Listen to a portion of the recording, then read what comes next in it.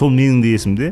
Сен абайдың жүз елу жылдық тойына барып тұрып мас болып қазақ үйде ләйліп жатқансың сахнаға шыға алмағансың. Балғынбектің құлағына жетеді. Содан маған айтады өстіп. Содан кейін мен мұхамеджанмен ұстасуым керек болды ғой мен өзім сегіз қыз алып қаштым. Ұяласыз ба? Ұялмағанда оның шет жағы саған тиді барып ой айналайын жандарбек ау бір нанды жей берсең қайтып бір тамақ іше берсең не істейсің сен? Безіп кетесің ғой. Су бар ма? Рас шындық ашылайын дегенде жөтел қыса басталды дейсің ғой.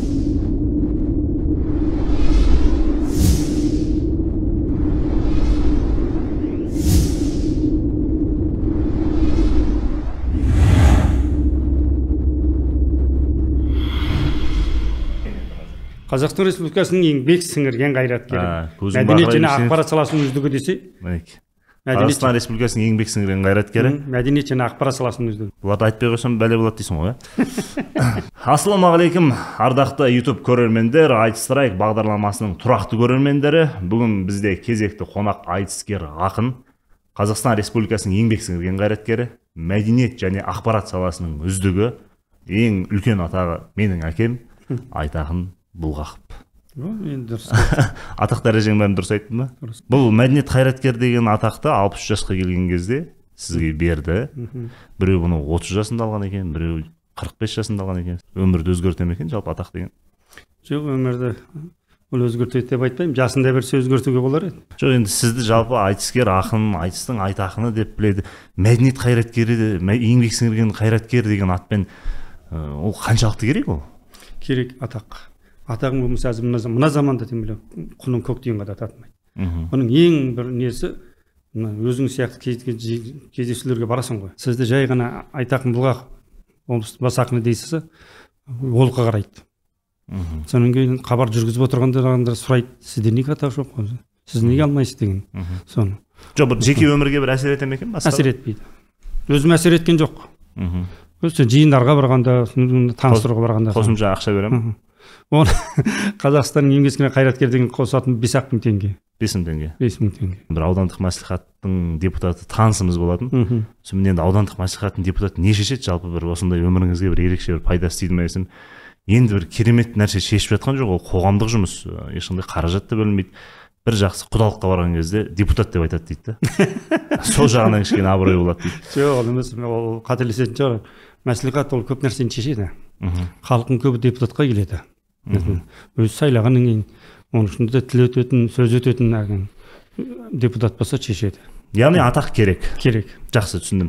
Енді бүгін сұхбат ә, мен үшін ерекше сұхбат болайын деп тұр. Өйткені бала кезімде жалпы осы әкем бірдеңе сұрақ қала ма екен деп өзім бір құпиям ашылып қала ма екен деп бір қипақтап бір тайсақтап тұратын едім. Қазір балам бірдеңе сұрап қала ма екен деп бір уайымдап отқан жоқсыз ба? Уайымдаймын неге уайымдамаймын?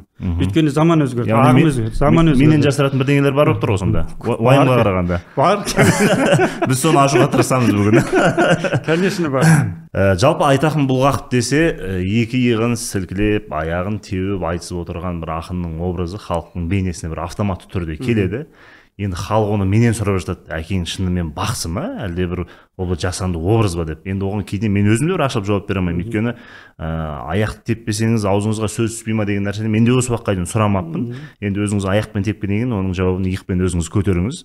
Қалай осы нәрсе? Бұл жасанды образ ба? Әлде ә, бір шынайы бір ауызға сөз салып тұратын бір қосалқы құрал ма? Бұл былай. Мен бір жер тебейін. Я болмаса өзімді бір көрсетейін деген недім бұндай жасандылық жоқ мхм М, айтысқа дайындалып жүрген кезде мен әу баста мың тоғыз жүз сексен жетінші жылы радиолық айтыста эфирде айтыс болды сол мхм. Содан кейін қызылорда облысында комсомол жетпіс жылдағында республикалық айтыс болды сол кезде барғанда мен ол кезде хайлялмен шыққан жоқпын. Ол кездегі мақам қандай ол еді кездегі мақам жай бір сарын әйтеуір. Әйтеуір мақам. Мақам Иә. содан келгеннен келгеннен кейін ана жақтан быт шыт болып жеңіліп келдім ғой мен. Мхм. Жеңіліп келіп әбікен сарыбаевқа енді ә, айтысты көрсем бетін жүрсін бұдан кейін айтыс көрмеймін деп сөйттім. Қызылорданың айтысынан жеңілдіңіз.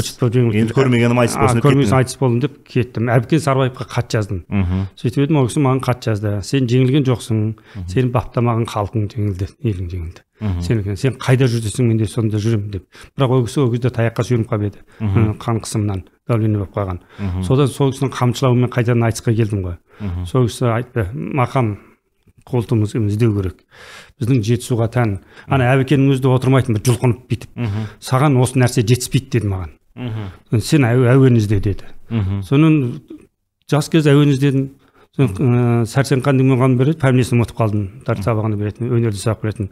Сол осы хайлайлымды айтатын. Өлеңім бас еді быжық жыжық быжық жыжық деген майлы чыжық деп хайлайлым хайлым хайлым әне гүлгіл тамаша міне гүлгіл жайна сол. Соны алдым ұнады айнаның алдында отырдым. Бір демалыста келдім дағы өзіме еріп жасадым. Қарасам уже аяғым қолым деп автоматты түрде автоматты түрде кетті. Сол кеткеннен кетіп қалды содан кейін республикалық айтысқа баратын болдық осы. Неге? Ә, таңатар алшыбековтар кендебайлар бар солар көріп ойбай осы мақамнан жабыс осыдан айырылма осыдан айырылма деп. Ана кейінгі ма- алғанда мақамға түспей ақ қой деп республикаға осы мақамнан келдім негізі хайлайлым өзі ә, қызық болғанмен әрі қиын мақам.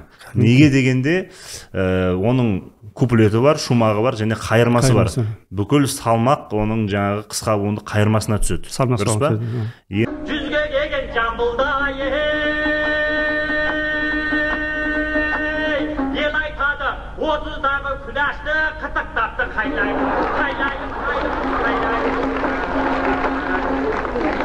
елуге әлі келген жоқ елең қағып жататын алпысқа әлі келген жоқ айналып деген адамдай адымдап қана басатын жетпіске әлі келген жоқ жер таянып жататын сексенге әлі келгем жоқ сегіз көрпе жамылса жыланбай жыла жылынбай жылап жататын тоқсанға әлі келгем жоқ тоғыз қорқа жамылып тоңқайып алып жататын жүзге әлі келгем жоқ күйіп тартқан күндей боп батысқа барып бататын қырықтағы қыранмын қызылға менде құмармын тәжірибем басылық үйреніп енді кезінде құдайберген сұлтанбаев актердің бір өкініші болған екен мен осы бір жеңіл желпі рөлдерді ойнағаныммен бір тарихи рөлдерді сомдай алмай қалдым деп ә, сіздің бір іште бір өкінішіңіз жоқ па? Хайлайлымның осындай бір қиындығынан кейбір шумақтарымды кейбір ойымды айта алмай қалдым деген сияқты бір. Ондай ондайлар болды. Конечно он бір буынменен жай айтатын нәрселер бірақ енді анаған икемделіп қалғаннан кейін халық соны күтіп отырған сахнаға сонымен барасың. Бірақ мен онымен де әлеуметтік мәселені айттым. Өзің білесің оны мақамда Иә.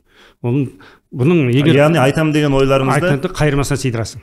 Қайырмасына сыйдырасың. Жаңа қызылордаға алғаш айтысқа бардым дедіңіз. Дәмеш омарбаевадан. Жеңілдім. Жеңілдіңіз. Нақты есіңізде ма қай сөзден қалай ұсталып жеңілген?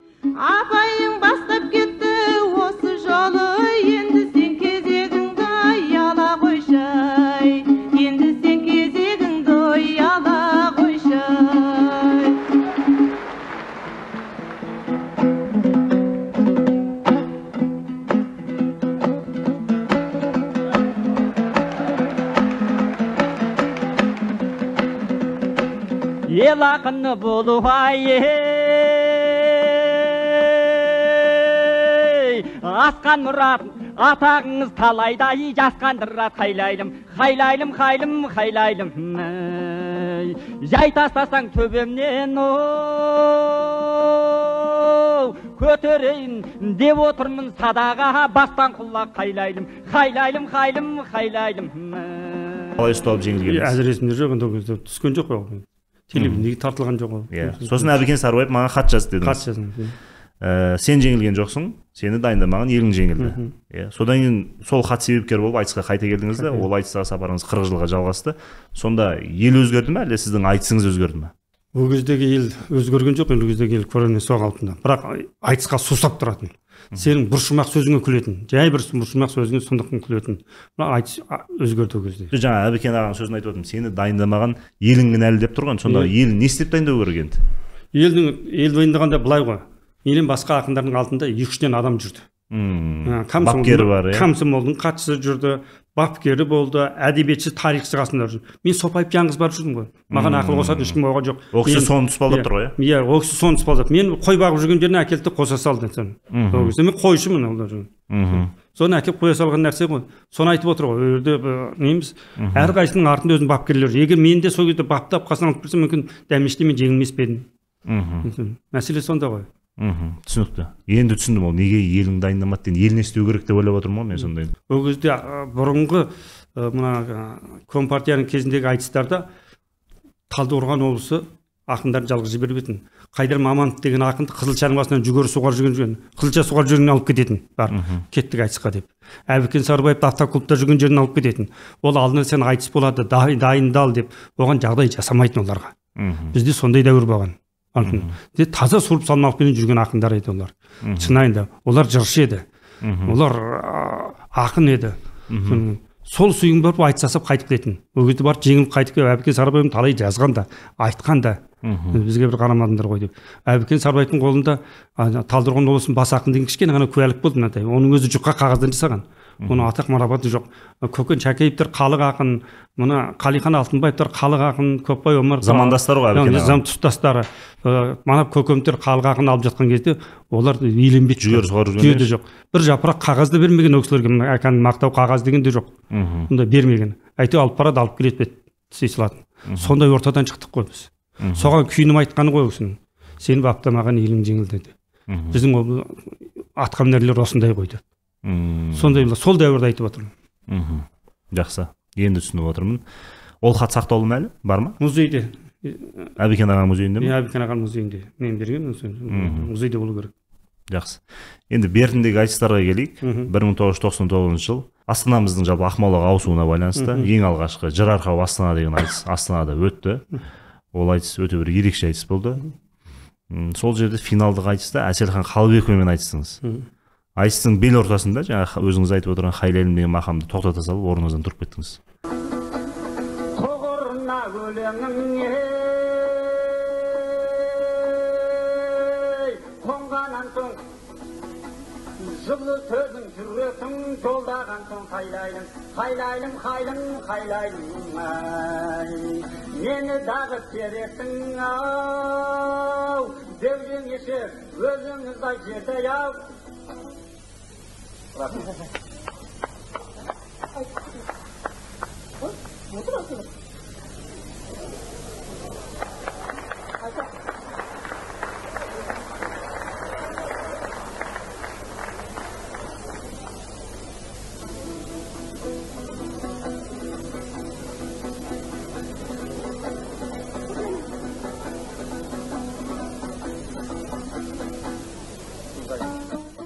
мен кейін осы айтысты архивтен де жалпы ютубтан да көрдім. Ә, халық жазған екен не болды айтақынға біз түсінбедік дейді да. Неге орныңыздан тұрып кеттіңіз? Жотам құрысып қалды арқам жотам құрысып қалды? Иә арқасы айбекпен айтыстым ғой айбекпен иә бірінші күні айбек қалиппен айтыстыңыз. Иә айбекпен қалиппен айтыстым. Ыыы айбек қалиповпен айтып шыққан ол шу болып кетті көп не болды енді. Иә ол айтыс өте бір жоғары деңгейдегі айтыс болды. ертеңгісін әселқұлмен шыққан кезде білмеймін арқам екі арқам иығым жібермей қойды бүйтіп соқсам жібермейді тұрсам жүрмейді. Тілім байланып иық жұлқиын десеңіз болмай жүрмей жүрмей қалды соны. Енді не кедергі болғанын білмеймін өзім. Сосын тұрып кетуге тура келді, тұрып кеттім сол. бірінші айтыстан кейін тіл көз болды ма әлде? Білмеймін сондай болды ма деймін. Мүмкін сондай болған шығар. Мхм. Енді қазіргі айтыста жалпы айтыстың жүрмей отқанын сезіп тұрсыздар ғой енді сіздер сол жерде. Айтысты жүрмей отыр елге де қызық емес болып бара жатыр осы жерден қоя салайық деген немен мақсатпен сондай ниетпен тұрып кеттіңіз. Тұрып кеттім. Қазір халық тұрып кетсе де орнында отыра беретін ақындар бар бізде. Көзін жұмып алып ары қарай қырық бес минут айтысатын. Кейде бір шумақтың өтпей жатқанын сезініп кейбір ақындар болады шумақты соңына дейін жеткізбей қоя салады деген кәсіби ақын болса. Немесе бір мына қалжыңым орынсыз ау деп дайындалып келген шумағын айтпай қоятын ақындар болады ғой. Айтыстағы сахнадан игеру. Жоқ менің дайындығым осы күйінде мен бұны қалай да айтып шығуым деп айтып шығуым керек деп бір сағат отырып алатын ақындар болады жүкеңе бір шумақ деп көрсет негізі ол бір сағат екен ғой көрсетіп жүргендері Ә, сонда не өзгерді сонда? Біздің заманымызда ондай нәрсені біз жасай алмай жатырмыз. Неге? Өйткені білмеймін беттерің қалыңдау шығар. Қалай да дайындап келгенімді айтып өткізуім керек. Бір минут бір минут бір сөйлейін деген. Сол не мағына мен түсінбедім ақындарға. Осы осы күнгі айтысқа қарным ашатын сол. Мхм. Біздің айтыста сұрып салмалық бар еді. Мхм. Сендердің тұстарға айтыста жаттанды. Төніп кетті. Біз сіздер айтып, дайындадыңыздар ғой бізді сіздер дайындадыңыздар ғой. Біз дайындадық мен сені сұрып салмаққа дайындадым. Сен не істедің оңбағандық біз ал сендер не істедіңдер содан кейін әзірге құртқан мына заготовка деген нәрсе. Мхм. Біз ол кезде де дайындалатынбыз. Айтатын нәрсемізді саяси нәрсетімізді ішімізге түйіп келетінбіз. Бірақ қарсыласпенен ақылдасу деген жоқ еді. Мхм. Бір күнде бес алты ақынменен мына айтысты бітіріп келесі ауылға айтысқа кетіп қалатынбыз ертесі айтысқа ана жаққа барып халық соңымыздан сол айтыстарыңыз енді сапалы бола ма енді сонда? Сапалы бол сапалы болмаса көріп отырсың ғой видеоның бәрін. Бір жай бір ауыз сөзге күліп ел халық айтысқа сусап жүрген кез еді. Тұнық кез еді. Иә иә. Әзір мына осы салмалы қырғыздар да бар. Бізде қазақтар біздің қазақтардың өк- өкпелемесін айтады. Біз қырғыздардан озып кеттік. Біздің айтыстың деңгейі биік. Біздің айтыстың деңгейі поэзияменен. Дұрыс па теңеулер сұмдық деп сөйтіп ол сеңеуіңнен не пайда сенің егер таза төл өнеріңді тұншықтырып отырсаң оның ішінде жаңағыдай сазарып аяғына дейін отырбасаң мхм одан қандай мағына күтіп отырсың сен айтсаң да бір нәрсені тауып айтсаң да бір дәмді айтатын халықтың аузында қалатын есенқұлдар айтатын бір ауыз сөз қалсақ болды халықтың алдында мақсат сол айт мақсат біздің біздің айтыс айтыс келген мақсат сол еді ерікті де алыңыз чорабекті де алыңыз кімді алыңыз баянғалиді де алыңыз әселханды да алыңыз бір шумақпенен соны бүгінгі қоғамда соның бәрін айтып жүреді ғой. Сол кісілер сөйтіп айтты бүйтіп айтты. Жаңағы тоқсан тоғызыншы жылы айтыста негізі әселхан апайдың мысы басты ма негізі? Баса ма екен ол кісінің мысы? Жоқ мен әселхан апамен айтсам мен әсиямен айтысудан именемін шыны керек. Кіммен? Әсиямен әсия беркеновамен әсиямен айтысу сахнада өте суық. Мхм. Сахна мына сахнаның сыртында дастарханның басында ол кісіден өткен не жоқ? Мхм. Ішегіңде түйдіріп айтпағанды айтып не қылады мен айтамын ғой жеңеше сіз сахнада неге сөйтіп жоғалар дейді сахнаның мәдениет білік дейді. Әселхан апа кез келген ақынды сүйреп шығады. Мхм. Айтсам айт біреуді әкеліп қойшы әселхан қасына ол кісі сүйреп қолдан алып шығып кетеді. Анау жүрсе жетекке. Немесе орнынан тұрғызып жібереді дейсіз ғой. Жақсы түсіндім. Ә, келесі сұрайын деген айтысым бұл айтыс ә, менде архивте бар еді. Өкінішке орай ә, балалықпен ба кейінгі айтыстарға қызығып сол архивтің үстінен бір айтыс басып жіберіппін кейін таппай қалдым. Оралхан бөкейдің туған күніне орай елу жылдығы ғой деймін шатаспасам өскеменде айтыс болды. Есіңізде ғой иә? Есімде. Бірінші айналымда абаш кәкеновпен айтыстыңыз. Иә. Бірыңғай он алдыңыздар. Иә. керемет айтыс болды. Финалда қуаныш мақсұтовпен айтыстыңыз. Қуаныш мақсұтовтың сөзі есіңізде ме? есімде. Ә, сол менің де есімде. Сен абайдың 150 жылдық тойына барып тұрып мас болып қазақ үйде ләйліп жатқансың ә, сахнаға шыға алмағансың деді. Мгм. соны мен осы рас па екен? Шынымен осы әкем бір қазақ үйде бір жатқан жерлері бар ма екен деп өзім ойланып қалдым негізі. Рас па бұл? Жоқ мен абайдың тойына барған жоқпын ғой. Мен абайдың жүз елу жылдығына да барған жоқпын.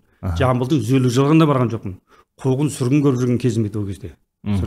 Анау өтірік айтса сахнада ол қуаныш бізден бір жеті бұрын барып бүткіл өскеменнің мектептерін аралап кездесу өткізіп сонда мен халықты өзіне дайындаған ғой.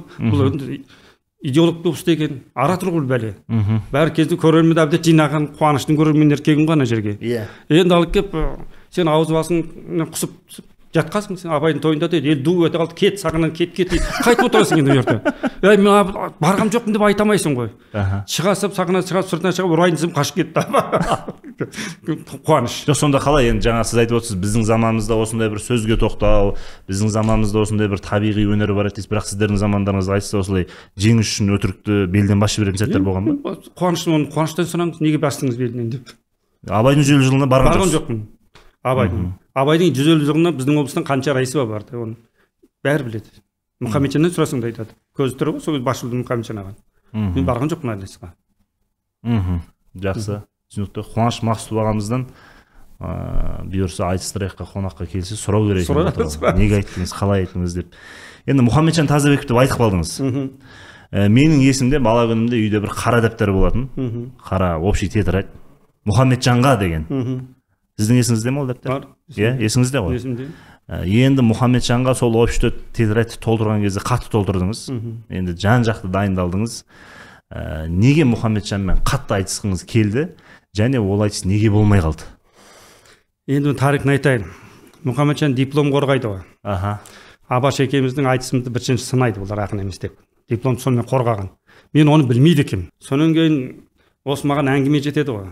Ол казгуден біреулер сіз ақын емес екенсіз ғой өлеңіңізден бері быт шыт диплом қорғапты мұхамеджан деп. Ол балғынбектің құлағына жетеді. Балғынбек алып оқиды оны. Содан маған айтады өстіп. Содан кейін мен мұхамеджанмен ұстасуым керек болды ғой яғни сіз, сіз негізі жеке тұлғаңыз емес бұл жерде сіздің шығармашылығыңыз сынап тұр ғой сынап тұр иә. Иә. Өлең сынаған ғой енді. Ол мен ол кездерде жасырмаймын. Қуғын сүргін көрген кезде тілім байланып санер сахнадан айта алмай түсіп кеткен соң мынау емес сахнаға шығып тұрып ештеңе айта алмай түсіп кеткен кездерім болған менің мен мына жүрсінге мың рахметімді айтатыным сол қайта қайта мыналар сені өлтіретін болды деп сен мен сахнаға шығара берді ғой жүрсін сен бір айтарың бар сенің бір айтарың бар кетпе кетпе айт деп төрт бес рет шығарып тілдің күрмеуін шешті содан мұхамеджанға деген ішінде түйін бар ғой кек бар қалай айтамын деп өскеменге бардым айтсам деп мұхамеджанмен айтыспадым семейге бардыңыз семей айналып кетті мұхамеджан алматыда кім рүстем басшылықты алатын кезде. Сол кезде Иә. жүрсіннен арнайы сұрадым берші деп. Мхм. «Бе- берейін деді. Бірақ мұхамеджан айналып алмады кейін мұхамеджан өзі келіп айтты оны маған. Мхм.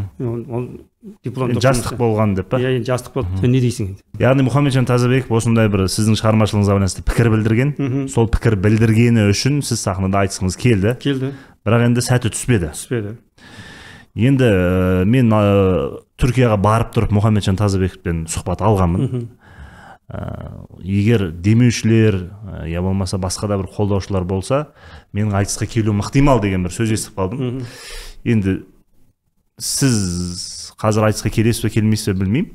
Егер мұхамеджан тазабековпен мен айтыссам енді сіз жаңағы арманыңыз демей ақ қояйын енді осы мақсатыңызды орындап. Мхм. мұхамеджан тазабековті жеңу пайызы менде қаншалықты? Сенде жүз пайыз мүмкіндік бар. Мхм. Ол мүлде айтысты қойып кетті.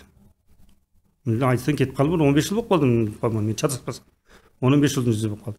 Сен қойып жүргеніңе бес алты жылдың жүзі болған шығар. Мхм. Қоюға болады. А тем более сені мен дайындаймын ғой. Мхм. Сол қара дәптерді алып шығамын ғой деп қойсаңызшы. қамшы мен дайындаймын ғой сені. Мхм. Яғни мұхамеджан тазабековті жеңуге болады. Алуға болады. Мен алатын едім деп ойлаймын. Егер сол кезде айтыстырғанда мен алатын едім мұхамеджанды. Өйткені мен оның барлық тұстарын ұстап едім да мен көрдім ол дәптерді көрдім. Өйткені енді ол жерде енді сұмдық енді бір жеті сегіз вариантты бір жауаптар жан жақты дайындалғансыздар. Ыыы мұхамеджан мен мұхамеджан соны білді. Мхм. білді. Айланып кетіп жүрді айланып кетіп жүрді. Мм. енді мұхамеджан ағамыздың құлағына алтын сырға. Ә, біз бұлғақовтардың атынан дейміз ба не істейміз? Бір вызов тастауға болатын шығар енді. Иә? енді айс страйктың жанкүйерлері бір демеушілер табылып осы айтысты ұйымдастырса менің бапкерім дайын енді. Мұхамеджан ағаның бапкері қаншалықты бар жоғын білмеймін. Айт мұхаммед бапкер чорабек. Иә шорабек ағамыз бар. Көрейік. Ә, мұхамеджан ағамыздан бір жауап күтейік. Келісті бәлкім бір айтыс болып қалар. Енді жаңағы біздің заманымызда ақындарда бір ірілік болған деп қалдыңыз енді. Мен сол сөзіңізге байланысты бір уәж айтқым келеді осы тұста. Айтыңыз. Ә, сіздің ә, айтыстағы тұсауыңызды халық ақыны қонысбай әбілов кескен. Дұрыс па? Ол әлі күнге дейін тарихта сақтаулы архивте бар. Сол қонысбай әбіловтің елу жылдығы ма алпыс жылдығы ма астанада болды. Ә, барлықтарыңызды құрметтеп шақырды. Ринат зайтов бар балғынбек имашев бар айтақын бұлғақов бар замандастары бар. Енді менмін деген ақындардың барлығын шақырған сіздер кәдімгідей ат шапандарыңызды алып халық ақынының тойына кетіп бара жатырмыз деп үйден кеткенсіздер содан сол шапанды жаптыңыз ба жаппадыңыз ба білмеймін. Сол тойға қатыспай бүкіл ақын үйлеріңізге қайтып кеткенсіздер. Іс- істеріңізге байланысты қонысбай ағаның денсаулығына үлкен бір нұқсан келіпті. Неге қатыспадыңыздар қонысбай әбіловтың кешіне? Тұсауымды кешкені рас қонысбайдың. Үйден шапанымды алып шығып барғаным да рас саған жабамын деп. Ол қонысбайдың елу жылдығы және сол ол тіл комитетінде жұмыс істеді астанада. Иә. Тілге қатысты айтыс еді. Ол кісі айтыс болады деп билеттің барлығын халыққа сатып қойған. алып беріп жоқ біздің баратын билетімізді қонақ үйімізді тамағын бәрін көтеріп алған. Одан бөлек конгресс холлға билет сатылған ғой халыққа. Оны сат- сатылғанын білмеймін енді. Иә халық жиналған. мақсат ақанов бар айбек қалиев бар серікзақ дүйсенғазин бар. Барып қонақ үйге жаттық. Қонақ үйге жатқаннан кейін бізге звонок түсті. Жүрсін ермановтан тікелей жүрсін ермановтан түсті тікелей телефон. Ал? оның обал сабал жүрсін ерманға болсын енді. Ал? Сосын не деді звондап? Кетіңдер артқа деді. Или менімен боласың или қоныспен боласың деді. Мен рұқсат сұрадым сол кезде жүрсіннен жүкаға алғаш тұсауымды кесіп еді. Мен сапарымды жабайын деп едім дедім. Сендер маған звондамай кетіп қалып қонысбай маған конкурент болып жатыр қонысбай деген. Кто такой ол деді маған. Сен кет деген соң кет деді. Егер кетпесең ақша көзіңді құртасың деп сөйтті. Соны сол күні түнде айт, қашып кеттік айтпай. Ол қонысбайдың жүрегі ұстап больницаға түскені рас. Инфаркт алды ол кісі? Иә. мен жүкеңе айттым. Соны қонысбай больницадан шыққаннан егемен қазақстанға айтақын қонақ үйге бір түнеуге келген жоқ шығар деген мақала жазды. Егемен қазақстанға шықты ол мақала. Оңбай таяқ жедім бір жағынан. Жүкеңе айттым айта салым баруым керек қатыса салуым керек. Ә, қонысбай ағаның үйдегі апайымыз. Звондағаны рас па? Маған звондаған жоқ. Звондаған жоқ иә? Қоныс звондаған жоқ. Қонысбай да звондаған жоқ бұл немене біз звондайды? Кейін кездестіңіздер ма қонысбай ағамен? Кездестік. Кейін айланып астанаға бардық қой маған кездестік. Иә. Қонысбайға айттым. Қонысбайға айттым енді жүкең өстіп айт. енді өйткені ол кісі мен айтысқа шыққан жылдары енді қанша жерден бір іштей өзің сезесің ғой бір жоғары деңгейдегі айтысыңмен бір бабың сәйкес келмеген айтысты. Қанша жерден бір шоқтығы биік айтыс көрсетсең де маған бір төмен ұпайлар беріп жүрді да сонда мен іштей ренжитінмін неге қонысбай ағаға мен көңілімнен шыға алмай жүрмін деп. Сөйтсем оның ар жағында осындай бір кілтипан жатыр екен. Сөйтіп сіздер бетпе бет кездескен кезде ол кісі не деді? Өкпеледі ренжігенде. Ол кезде менде жас қой енді күйіп тұр енді. Алаңғасарлығым соған мән бермей. Кім? Айбек. Кетпей қалды менің шәкірт Енді- ұстаз ұстазым деді ол қалды. Ол байқұс аяқ астынан ана ә, кімді торғайдан?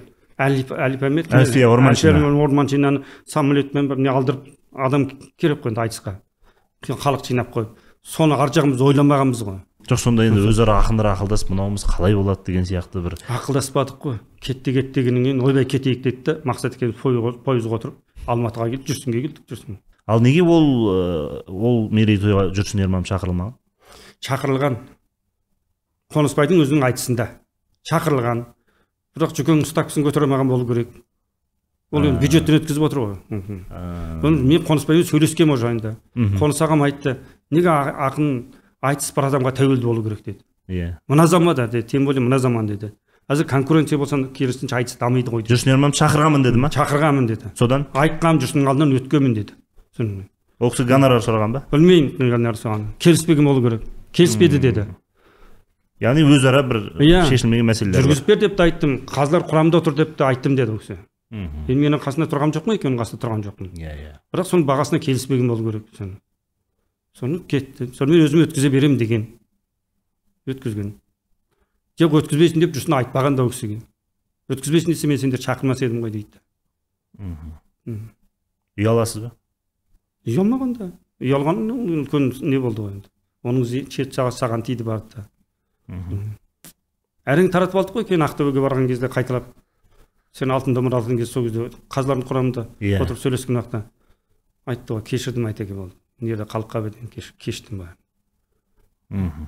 сенің қолыңда тұрмады ғой түсіндім ақырын ақырын өзі кім туралы әңгіменің кім туралы болатынын да біліп тұрған сияқтысыз өзі әңгіме бірте бірте ашылып жатыр ғой жаңағы мұхамеджан дедік мұхамеджанға тоқтатылдық. Жүрсін ерманов туралы айтып қалдыңыз. Ә, дінмұхаммед ахметұлы қонаевтың тоқсан бес жылдығында ә, біз жақсы дайындықпен бардық. Сөйтіп тарихта болмаған дүние ә, бір күнде үш машинені ұту нәсіп болды бізге.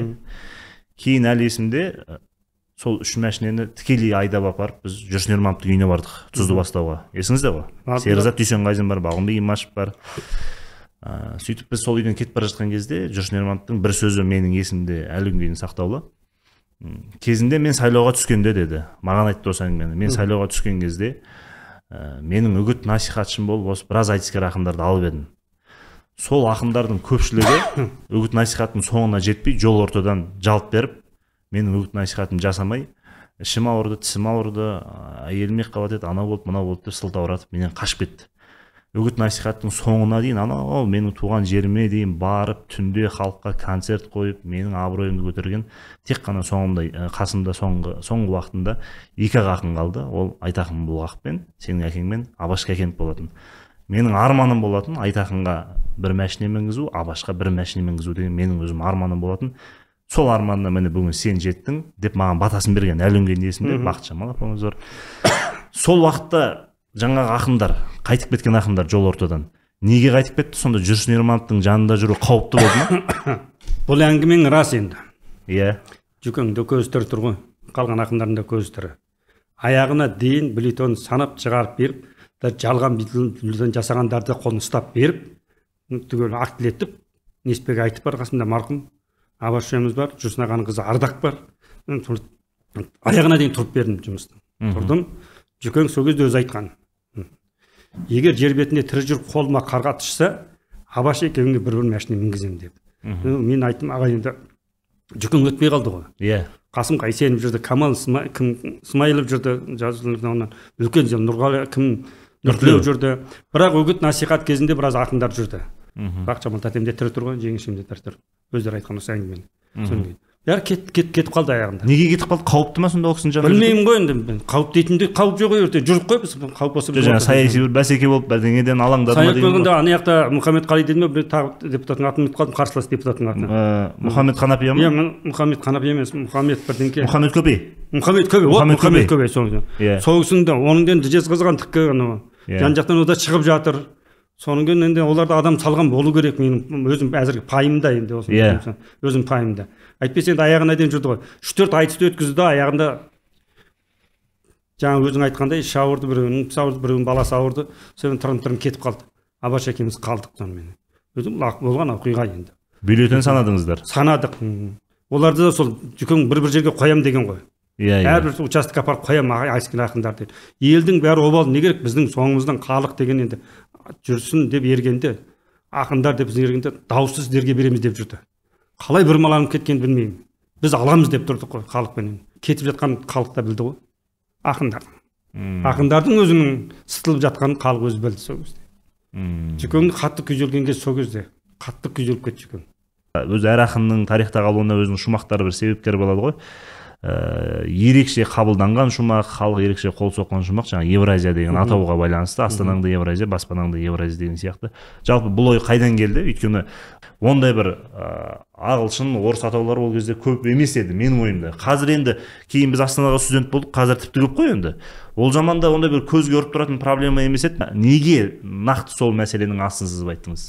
Бізді әр жерге ақындарды күтіп алып бөлді бөлді. Мен бір жерге түстім құрылыс саласындарына жаңағы кісілер аралатып жүрді. Ол кісі апарды мына базар евразия болып жатыр деді. Ана мен апарған апарған арғы жақтан жердің бәрі евразия болып шықты. Содан кейін мен соны көңілге түйдім. Оның ұйқасын іздеп мен бір күн жүрдім жаңағы евразия евразия деп жүрмін соны оны дәулеткерейден кеңес сұрадым. Балқынбектен сұрадым. Олардың миы ашып кетті даже. Е қойшы осы бәлеңді дейді. Соны дөңбекшіп жатқан таңға жуық уже ұйқасы келді маған. Осыны қоямын дедім. Ай Баспанаңда Евразия, баспанаңда Евразия, базарыңда Евразия, ажарыңда Евразия, университетінде Евразия, айналайын айбекжан, шашал бексе басалған бұл не деген безобразия.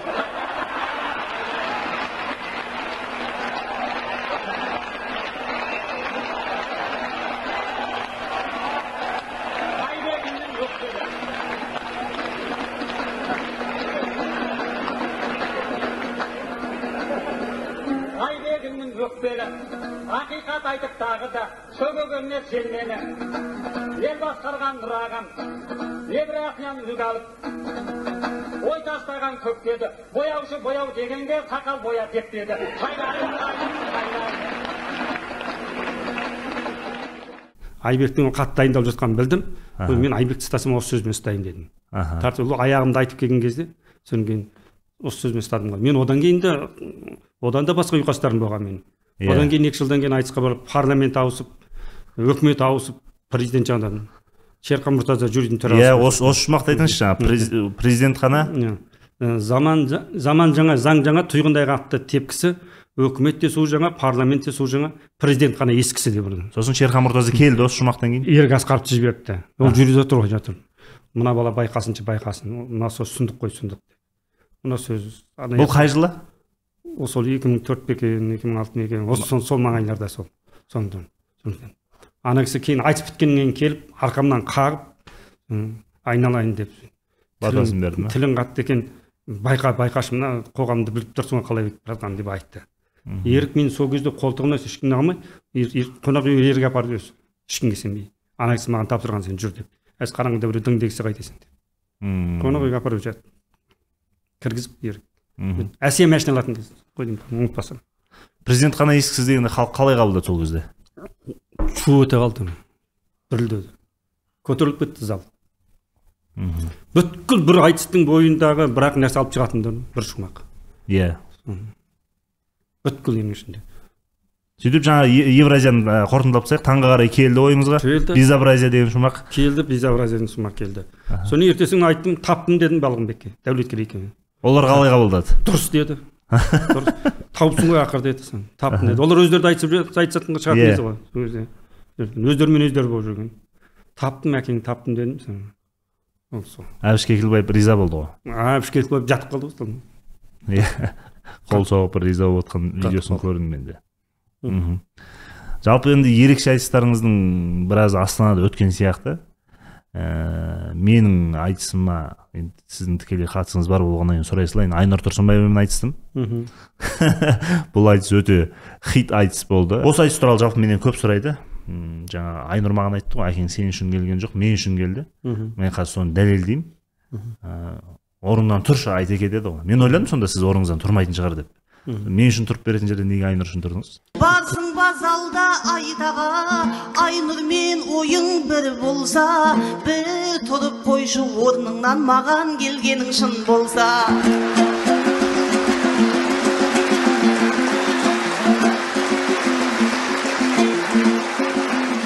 Қызықсың.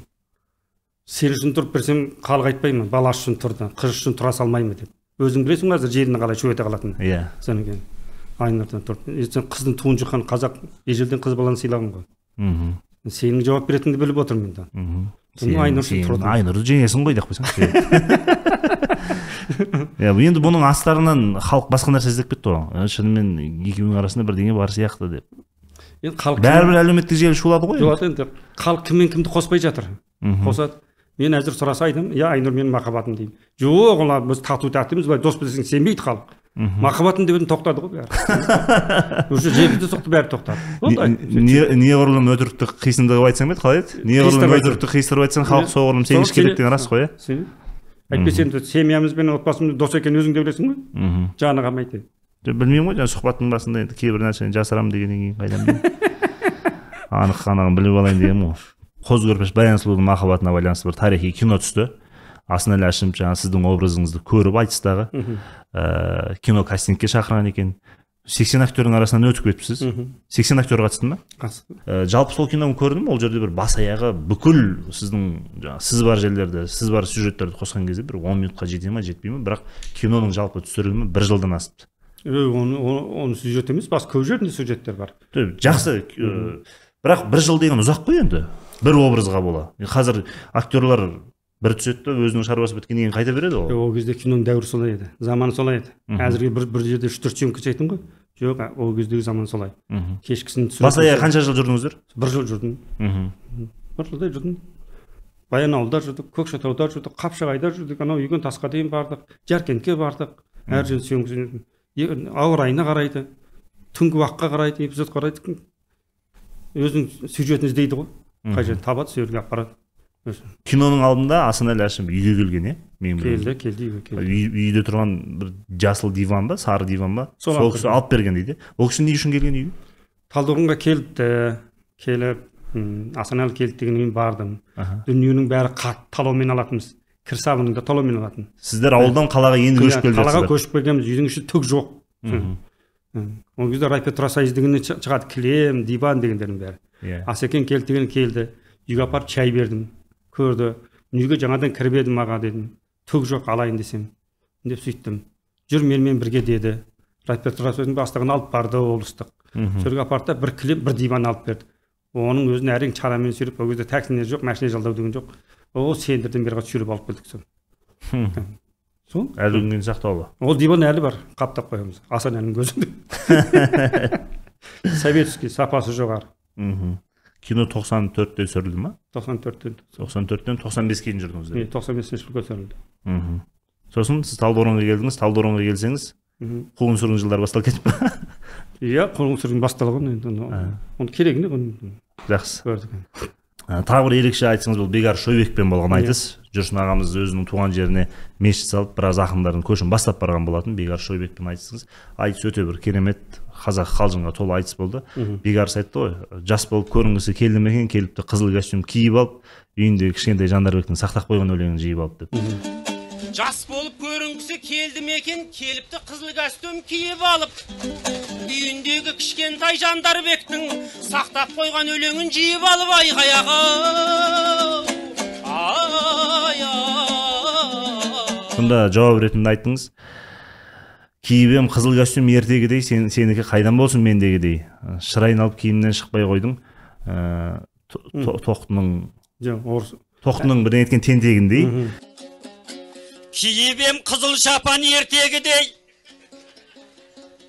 Сенікі қайдан болсын мендегідей. Маңайшақтап киімнен шықпай қойдың. Шырайланып тоқтының тентегіндей. Үстіңнен қара шапан бір түспейді әйел өлген орыстың еркегіндей ай.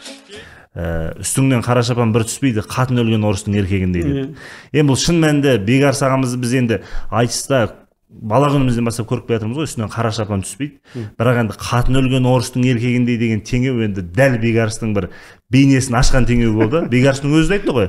Қатын өлген орыстың еркегі деп теңеуді қайдан таптың сонша бөлек деп. Қандай қа- қандай костюм киерін біліп алыпсың сірә орыс қатының болса керек деп. Жалпы мына қарсылас ақынның бейнесін ашуда ә, көп ақында осы шеберлік жетпейді. Мысалы оразалы ағамыздың мен әлі күнге дейін бір шеберлігіне таң қаламын әбілқайыр сыздықпен айтысқан кезде ол кісінің түр әлпетін біреу қарасың көмірсің деп айтты ғой енді. Негізі ол кісі ондай бір қара емес көмір сияқты. Былай өмірде көрген кезде. Оразалы ағамыздың айтысын қарап отқанда қазының қабыршығындай түр түсіңде бар қандай гәп дейді да. Енді шын мәнінде ол кісі қара торға да жатпайды қараға да жатпайды. Енді қазының қабыршығын бүйтіп қарасаң дәл енді сол әбілқайыр ағамыздың түсі екен да былай қарасаңшы бұл енді шеберлік қой енді. Жаңа қатын өлген орыстың еркегіндей деп ә, жаңағы бекарыстың бейнесін ашуда. Жалпы осы қарсылас ақынды кекете отырып оның бір сахналық образын ашу үшін ақынға қандай шеберлік керек қандай ізденіс керек? Жәнібек сен мынаны қарашы. Орыстың күйеуі өлсе әйелі қара жамылады. Иә. Еркегі қара жабылмайды. Орыстар еркек жабылмайды. Мен енді не істеймін қара костюмді апарып сен қара костюм киіп алып берсем елге өтпейді ғой. Содан кейін айта салғанмын мен оны ұстап әкеліп орыс әйелі негізінде орыстың еркегі кимей ма қара кимейді мен оны зерттемеппін. қара жамылмайды әйелдері ғана жамылып жүреді қара. Бекарыс ағамыз осыны білмеген болып тұр ғой. Білмеп тұр білмеген болып тұр ғой соны білсе. Сондықтан мен оны орыс өлген әйел өлген орыстың еркегіндей дей салдым ал енді жауаптасу айтысу деген кейде бір айтыстарың шығады. Иә. сөйлеп келесің кейде шықпай қалатын сәттері болады. Басынан енді бекарысқа төтеп беру деген Иә. оны тілінің өзі білесің. Біз сияқты Иә. сүйресе ар жағынан бір ақ шығарады сүйегінен өтіп кетеді. Сондықтан оған дайындықпен бармасаң болмайды. Өстіп айтады ау өстіп айтады ау деп. Кез келген айтысқа дайындықпен бару керек қой. Мхм. Спортсмен де сол ертеден кешке дейін спортта жүреді. Тер төгіп жүреді. Соны қанша яғни бір ақын туралы соның төңірегінде ізденістер өте кең ауқымда болу кең керек қой болу- кең болмаса болмайды. Әзілді айта отырып әлеуметтік мәселені көтере білуде ғой тек қана ана жауап бер жұқа жауап бере салып әлеуметтік мәселемен алып кетемін деген ақындардың бізде көп әзір көп ақындарда сондай мәселе бар иә қоғамдық мәселені айтып халық шулатып жіберемін халық шулатып жібереді болды ана біздің бүгінгі ақындардың ең осал тұсы осы жер қоғамдық мәселемен ғана айналысады ал жоқ өйткені халықтың ұғымында да сондай ұғым пайда болып қалды айтысу екі ақынның уәждесуі емес тек қана сахнаға шығып проблема айту деп түсініп қалды. Өйткені неге? Сендер ананы айтпайсыңдар ма? Сендер мынаны айтпайсыңдар ма? Сендер ақын емессіңдер өйткені сендер шындық айтпайсыңдар дейтін бұл жерде сияқты көрерменді кінәлаудың қажеті жоқ жандарбек бұл жерде өзің сен әлеуметтік мәселе халық и так сені күтеді. Ол күтетін заңды. Иә. Оны ана проблемамен бірге әзіліңді қоса өткізсең вот сол айтыс. Жоқ айтыстың негізгі талабы негізгі шарты проблема айту ма уәждесу ма? Уәждесу ғой. Уәждесу. Уәждесу. Иә. уәждесу. Уәждесіп отырып қоғамды түйрей білу Иә. керек қой. Содан кейін яғни таразының екі басын тең ұстау керек тең ұстау керек. Тізгінін тең ұстау керек қой. Менімен айтысыңыз есіңізде ғой иә? Иә. Ә, жүрсін ағамыздың енді сұранысы дейміз ба бастықтың өтініші де тапсырма дейді ғой енді. Сол кісінің өтініші бойынша айтыстық қой. Айтыстың бір қиын дәуірді бастан кешіп жатқан кез еді. Мен айтыстың шлагбаумын ашуым керек әке мен баланың айтысын жасаңдар деген тапсырма келгені рас. Жалпы мен, мені былай аяп айтыстыңыз ба? Әлде бір ыыы, фора беріп дейді ғой енді жастардың тілімен айта берейін оны түсінсеңіз. Мені аяп айтыстыңыз ба? Әлде бар пәрменіңізді салып айтыстыңыз ба? Саған бар пәрмен салдым. Ортаңа ой тастауға келіп тұрмын құлынымды ертіп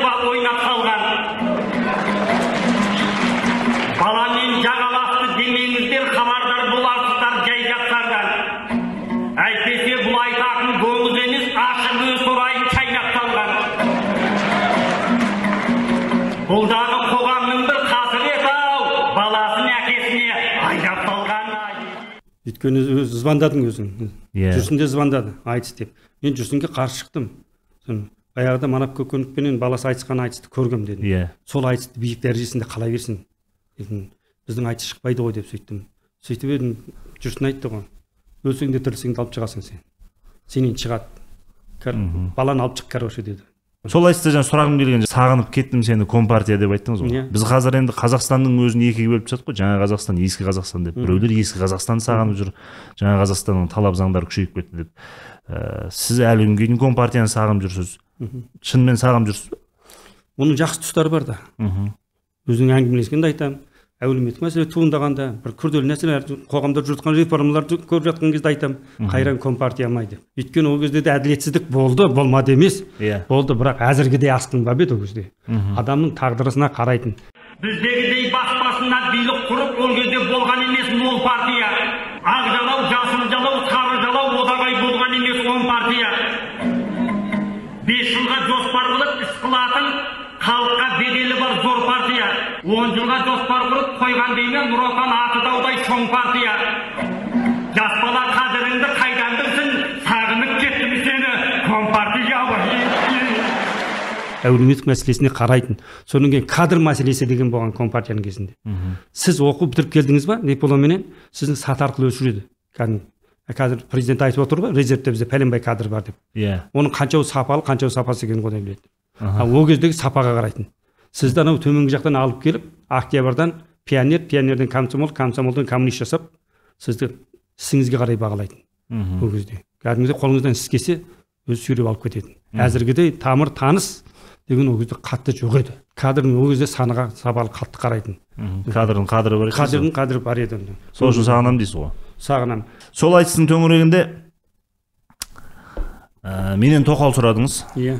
Орыстар айтады под тонким намеком толстые обстоятельства деп Ә, бұл с- астарында бір шындығы бар әзіл болды ма? Жалпы ер азаматтың көп әйел алуына байланысты пікіріңіз? Жандарбек мына мәселе мынада. Жоқ өйткені сахнада сіз мені ұрысып тұрып талап еттіңіз ғой уәде қайда сен маған тоқал алып беремін дегенсің бір айтыста сен маған жіп мінгізіп сен өзің жасап кеттің әдемі айда сонан кейін жас тоқалы әперемін деп қу бала қанжы бүктің және бойға. Жандарбек тоқал алып кеп қалар деп мен жатым дәмел ойда ойпырмай тоқалда жоқ тоқашта жоқ үш ай бойы жоғалдың бәлен айға өтірікті мен саған үйретпеп ем айғада қу жүгірмек уәде қайда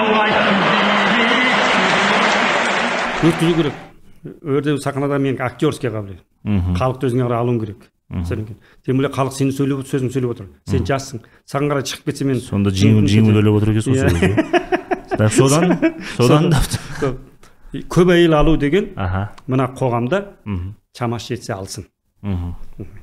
алып жатыр ғой білдіртпей алып жатқандар бар бірақ олар балалар бір бірімен қаншалықты араласады мхм. бұрынғы заманда үй үй қылып жасап қойған бір бірімен араласатын білмейсің а мына қоғамда ол баласымен бірін тоқалдың баласы мен бәйбішенің баласы бір бірін жақтыра ма жақтырмай мәселе сода мхм.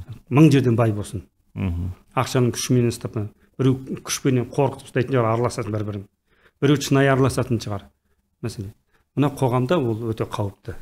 Шамаң жетсе сол бір әйелді асырап алсаң да жетеді. Сен оны балаңды дұрыс тәрбиелей алсаң онда да. Мхм. Одан туған балаң. Мхм. ол кезде бала мәселесіне қатты мән берген қоғам қазақта. Баланы тәрбиелеуді. Мхм. алдынан өтпейтін әкенің алдынан. Ананың алдынан өтпейтін. Қонақ келсе атын байлап алдынан жүгіретін сыйласын. Иә. Ағайын туыстың арасында туыс бір бірінен қол үзбейтін. Қазір екі ағайынды бір бірімен араласпайды өзің білесің оның несін иә иә. Бірақ қарсы емессіз қарсы емеспін. Алсын бәйбішесінің тілін тапса екі жақтың көңілін қараса екеуін бір бірінен бөлмеймін балалар бір біріне теңдей араласады десе. Бірақ бәйбішенің балалары мен тоқалдың баласы араз болып бір бірі құшақ болып ана байлығына дүниесіне таласып жатса қырқын қазір байлыққа таласып жатқандар көп қой. Бір үйдің ішінде өзі. Әкесі қайтыс болып кетсе дүниесіне таласып қырылысып бірін бірі сотқа беріп жатқан. Мен соттар көп қатысамын талдықорғанда. Көріп жүрегім ауырады мысалы соны. Мхм. мысалы? Мысалы. Дүниесіне таласып жатады. Ана әкесі көзінің тірісінде бөліп беріп кетпеген. Енді кетіп қалды ғой содан Мхм. өз орта бөлгенге келіспейді. Ананы мен аламын жоқ мынаны сен аласың деп тең бөлуге қарсы қырық пышақ болып жатқанда жетеді даже қызы шешесін сотқа беріп жер үшін тартып алған жерінен сотқа сотқа барған Мхм. қызы өзі алматыда тұрады ана жер ана жақта жатыр. Әкесі қайтыс болып кеткен Мхм. қызы мен шешесі соттасып жатыр соттасып жатыр қызымен шешесі. Жер таласып кемпір сатып жіберген ананы. Маған доля бермеді деп. А қызы маған үлес тимей қалды деп шешесі қыз- сотқа беріп жатыр ғой иә? шешесін соттап жатыр. Міне байлықтың көкесі жалпы менің атымды қоятын кезде бұл енді досыңыз жандарбек бегімбеттің құрметіне қойғансыздар. Ә, мен естіген ақпарат бойынша ә, жандарбек бегімбетов дүниеден озған кезде ә, алматы облысының сол кездегі біраз ақындары яғни талдықорған талдықорған облысының біраз ақындары ә, жігітше қол алысқан екенсіздер. Қайсымыздың келіншегіміз бірінші ұл туады соның атын жандарбек деп қоямыз досымыздың аты өшпесін деп. Бірақ сол өңірде бір ақынның әйелі ұлды болып ол кейін жеме жемге келгенде ол атты қоймайтын болып ә, кейін сіз маған қойған екенсіз. Бұл уәдеде тұру үшін жасалған әрекет пе әлде жандарбекке деген шынайы құрмет па бірінші уәде. Ол жапар деген ақын еді ақылбек болса алматыда тұрады. Ол өзі айтты қайсымыздың әйеліміз ұл тапса жандарбектің атынан тұрмайық жандарбек деп қояйықшы деді. Қол алыстық екеуміз. Қасымызда ақындар бар болды келістік па келістік.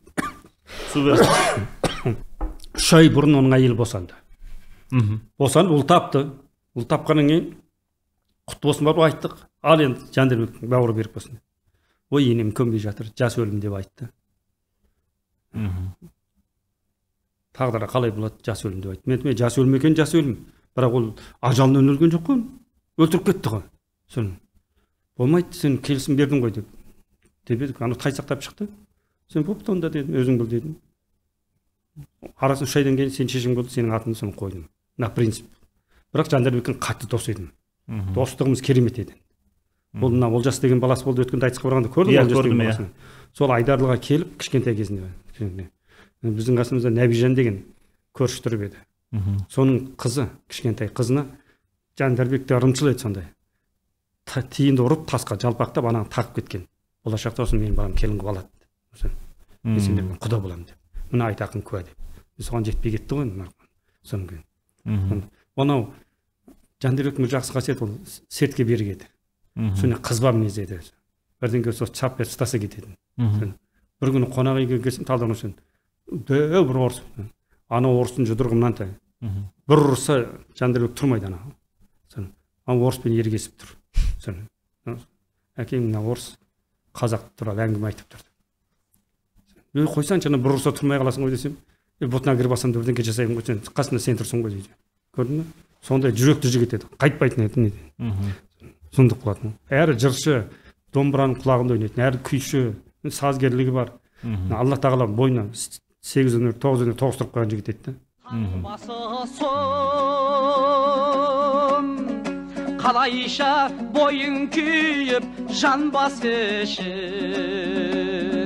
барғалық кәл олжасты қолдайықшы тағы да елім айлап қалмас үшін сондай жігіт еді.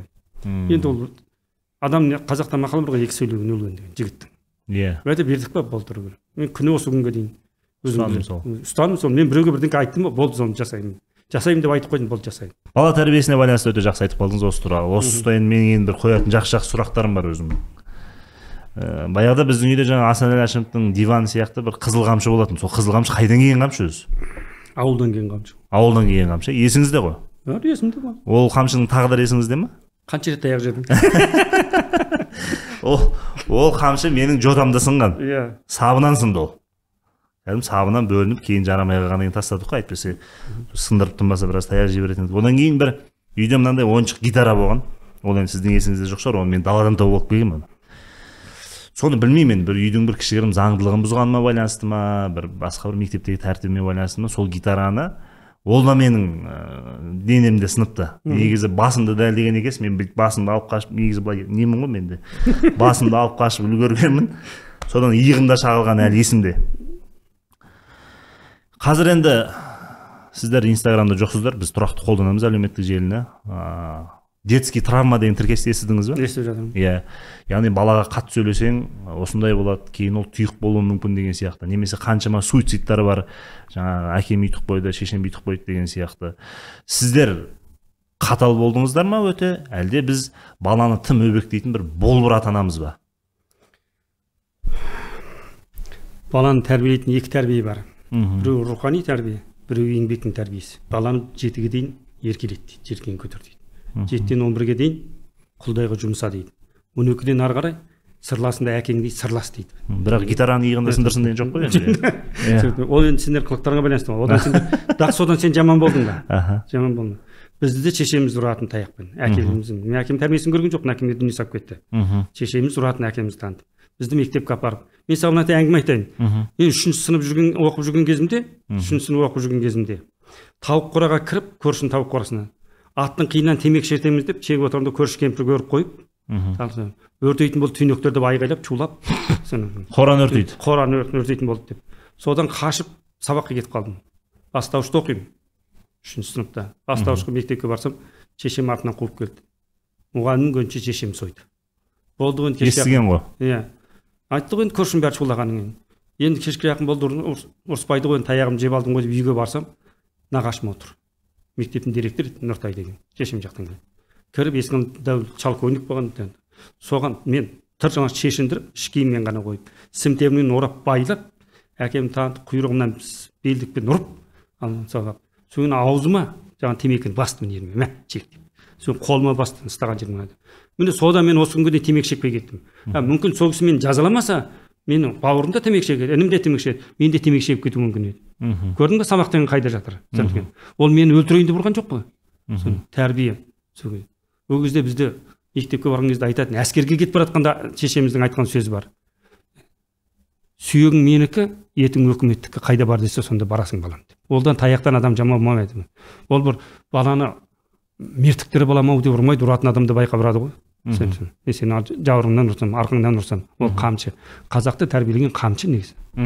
Қамшы тұрған үйде ана іліп қояды қамшыны. Қамшы былай ілініп тұрса ол үйдің ақ иесі бар деген сөз. Әкесі бар деген сөз. Қамшы былай салбырап тұрса ол үйдің ақ иесі жоқ деген сөз. Әкесі жоқ деген сөз. Бұл тәрбие. Ананың бәрі тәрбиеде қамшыдан.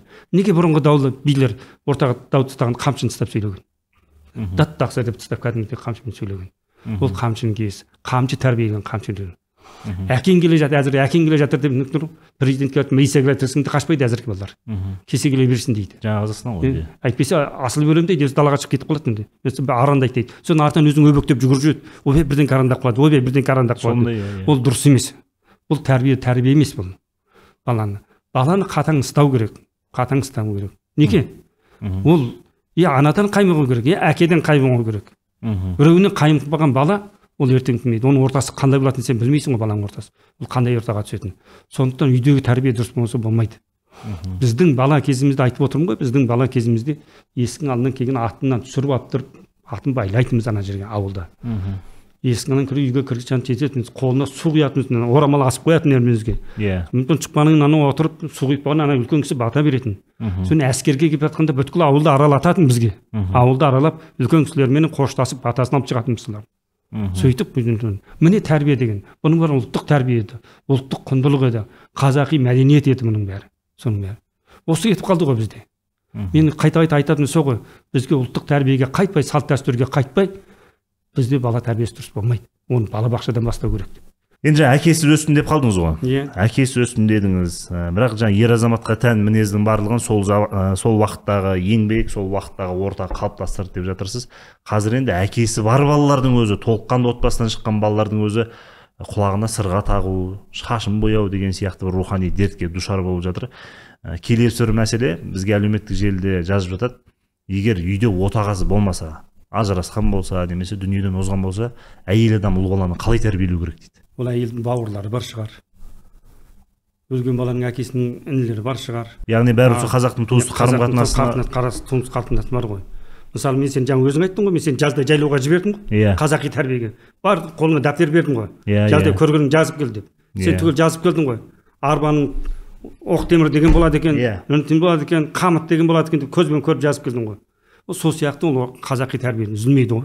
Қазақ отбасында ол әкесі өлсе де оның туған туысы бар бауырлары бар солардың тәрбиесі нағашылары бар деген сияқты.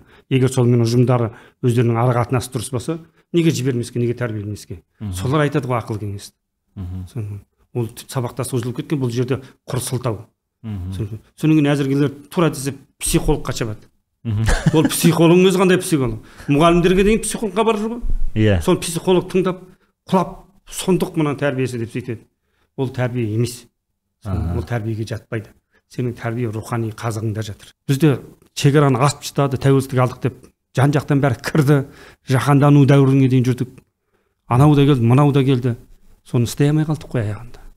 Еркіндікке береміз деп. О басталды экономикамен жүрген идеологияны шегелеу керек еді. Қалыптастырып мхм. Оны сол кезде біз ұстап қалуға болар еді. Өзбектер ұстап қалды ғой мысалы. Өзбектер кіріңізші. Өзбекстанға түркіменстанға кіріңіз. Ұлттық идеологиясы әлі олар мықты айтты а бізде жоқ ол. Бір жүйелеп оны бір қағазға түсіріп халыққа ұсыну керек. Ұсыну керек. Оны халыққа ұсыну керек.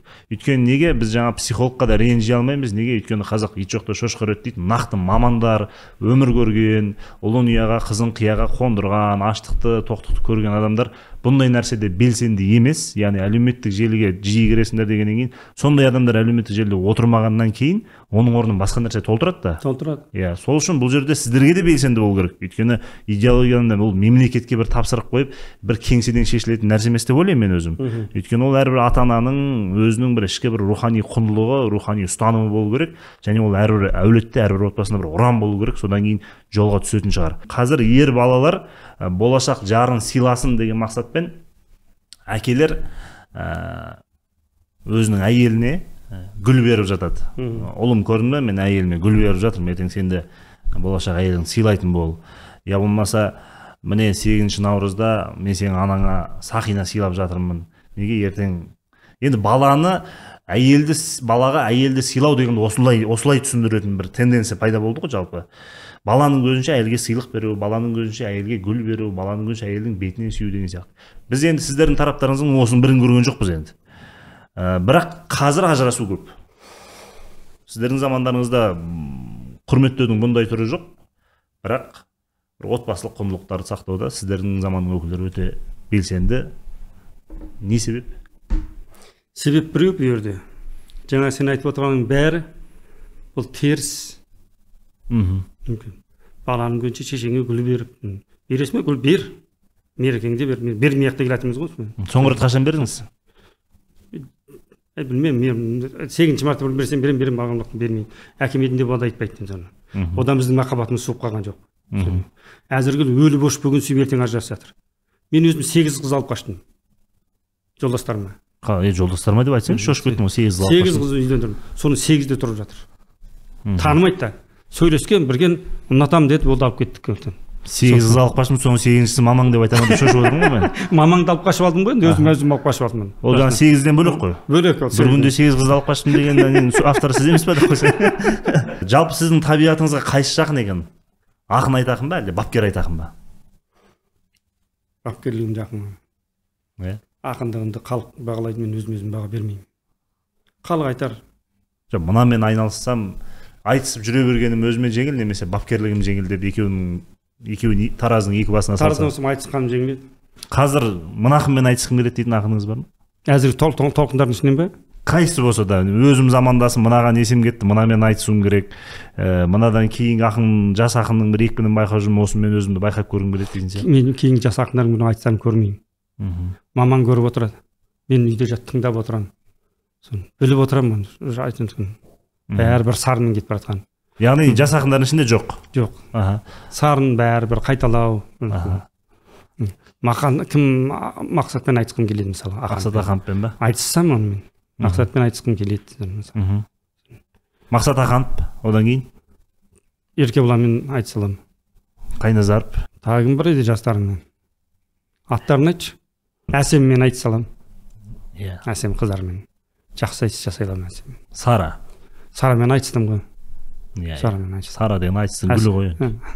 Әсеммен жақсы айтыс жасай аламын жансаямен айтыса аламын о ол жансая мусинамен айтақын бұл уақыттың айтысын жазса республика сарайын толтыруға болатын сияқты маған. Жақсы айтыс болады. Деп ойлаймын. Бұл сөз енді бауыржан халиолланың назарына. Иә. Содан кейін айтысты бір адамның қолына тәуелді қойғанға мен өз басым қарсымын. Оны жүрсінге де айта аламын айтыста конкурент керек конкуренция айтыс конкуренциямен дайындайды мысалы。әр облыс өзінің жүргізсін айтсын неге бір адам келеді команда жасақтап әр облыс өзі жүргізсін айтсын шақырсын батысқа шақырсын арқа шақырсын өз айтыстарымен көрсетсін。мхм. өздері жүргізіп көрсін басқалар теріп мұрша беру керек мұрша берсін。сонда дамиды ғой бір қораға қамап алып ұрып тастап жат тұр. Деп жүрген айтып болмайды ол. Рас қой енді ол. Жоқ енді қазір ақындардың одағы бар ғой енді. Аты бар зат жоқ қой. Аха. Аты бар зат жоқ. Ол одақ жылда есеп беру керек. Жыршылығы қайсы? Жырдан мынандай дәрежеге жеттік. Жыр айтудан термеде мұнша конкурс өтті оның дәрісі мынау жетті деп. Ақын әбдуәли облыста жүргізді осы жырды қолға алды бәрі филармонияның әртістері консерватория оқыған бірақ жырды айтады жаман жыр жаттап алып е халықтың арасында жыршы қайда халықтың арасына әкелу керек қой. Қызылорда сияқты батыс қазақстан сияқты мына оңтүстік қазақстан кәдімгі халықтың арасында жыршылардың жырауларын әкеліп солардың конкурс өткізу керек. Жыршылар одағы дейді. Бір жыршы өткен жоқ қой бізде. Е дастан айтқан жоқ е терме айтқан жоқ. Тек қана айтыспен шапқылап жүр. Ол айтыстың өзі ескі сүрлеуде жүр әлі. Мхм. қайтып көрермен қашпайды бізден. Осыдан кейін сондықтан менеджер керек барыңдар жүрсін маңайын топтасып жұмыс істеңдер көрсетіңдер ағаң айт жөнді неге осындай бір мемлекет басшылары кәдімгі айтысқа келіп отырмайды соны мемлекет басшыларын келмей ақ қойса деп ойлаймын мен неге өйткені мына айтысыңның е, көрсе айтады мынадай айтысыңа рахмет дейді рас қой енді рахмет дейді ол жерге сен реформа айтысыңа реформа жасап алып өзгертіп содан кейін алып кел президент сүйсініп отыратындай. Баяғыда құрылтай өткенде осында назарбаевты алып келген сол кезде айтысқа. Келді ма назарбаев келді айтысқа сол кезде. Айтысқа тоқсан бірінші жылы ма? тоқсан бірінші құрылтай өтті ғой бір. тоқсан екі ма? тоқсан бір ма тоқсан екі ма құрылтай өткенде. Сол кезде назарбаевты алып келген айтысқа. Көрдіңіз бе? Сол сияқты алып келу керек. Әзірге айтысқа әкелмей ақ қой сен. Жүрегі айнып кетесің айтысың жауып тастауы мүмкін.